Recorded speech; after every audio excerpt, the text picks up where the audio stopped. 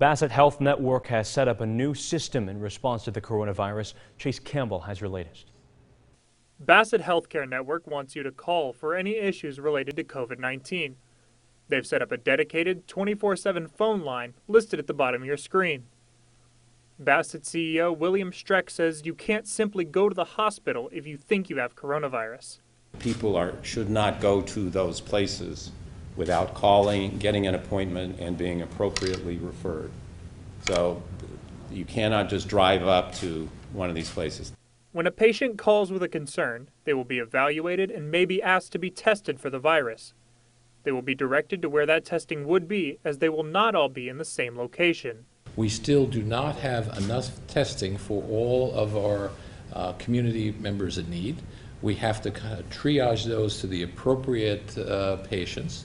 Bassett officials also explained that this is in preparation for a much higher demand from communities.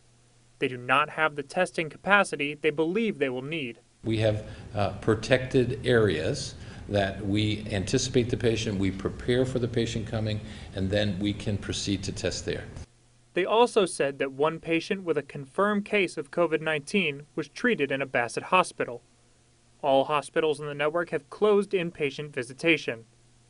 Reporting from Cooperstown, Chase Campbell, Eyewitness News.